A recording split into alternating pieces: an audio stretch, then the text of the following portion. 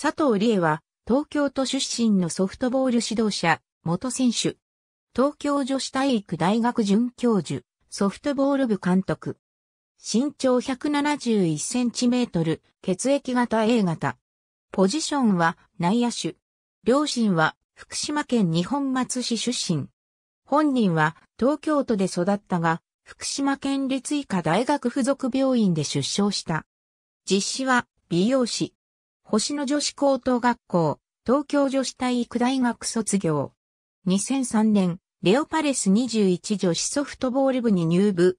首相を務め、走攻守三拍子揃った遊撃手として活躍。2004年には日本リーグで打点王。また同年アテネオリンピックに出場し、銅メダルを獲得。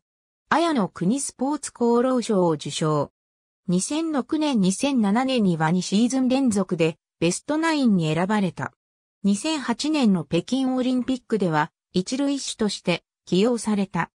アメリカとの決勝戦でウィニングボールをつかみ金メダルを獲得した。同年、紫綬褒章受賞。同年12月を最後に現役を引退した。2009年4月、母校の東京女子体育大学助教に就任する。同年8月放送の平野綾岳 TV に出演した。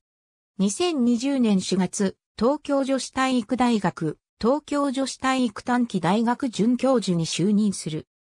紫綬褒章の受賞者、共同通信社、47ニュース http コロンスラッシュスラッシュ www.47news.jp スラッシュ cn スラッシュ200811スラッシュ cn20081101008177.html2013 年1月25日閲覧ありがとうございます。